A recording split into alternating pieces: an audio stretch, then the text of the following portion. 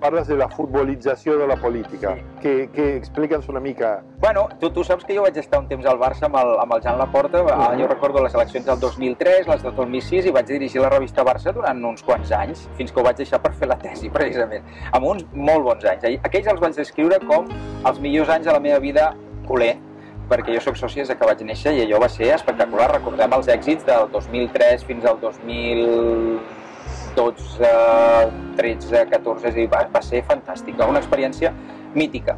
Um, què passa? Que jo futbolització no ho utilitzo en negatiu, però sí ho utilitzo en el sentit de aquesta, aquesta idea que s'ha generat... El futbol és tot sentiment. És a dir, jo recordo quan era petit eh, i anàvem amb el meu pare a l'estadi que teníem veïns de, de seient i el meu pare mateix, que eren persones molt pausades i molt calmades la major part del temps, que quan xiulava, eh, pitava l'inici de, de partit a la transformava. Era el doctor Jekyll i Mr. Hyde. Era els Transformers, és a dir, jo que jo, algun senyor puro, i jo pensava, aquest senyor, què li està passant? Llavors, perquè és tot sentiment, i no és res, és, té, té una part racional, com tota la vida existeix, però és obvi que tu sempre veus els altres, l'oponent, l'adversari, l'Espanyol, el Madrid, els dos com els dolents dolentíssims quan toca jugar Clar, contra ells, clar. i viceversa. I hi ha jugades que les veuen d'aquí a mm, Llatinoamèrica i no, i no, i no, tu no les veus o no Clar, les vols veure. clar. Llavors, això ha passat una mica en la política, no? S'ha futbolitzat en el sentit de fer, reduir molt la, el debat a la favor o en contra.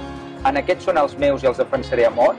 Eh, lideratges que busquen cada vegada més, més que votants, busquen eh, followers, fans, Clar, clar. fans, seguidors, supporters. que es tanquen a més a més, perquè només llegeixen els mitjans que diuen el que ells volen sentir, segueixen a, a xarxes els que pensen com ells, i es retroalimenten.